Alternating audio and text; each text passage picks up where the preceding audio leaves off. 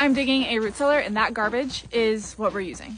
This steel garbage can, along with a few other materials, will allow our root vegetables to stay fresh throughout winter. I was pretty nervous that the ground would be frozen because our Northwoods winter home is quite snowy and cold already. But the ground was in good shape, so I got to digging and I dug some more. And while I was working, the dogs were having the time of their life. Once I got through the top layer of soil and roots, I ended up hitting like a hard packed clay earth. So the digging definitely slowed down at this point.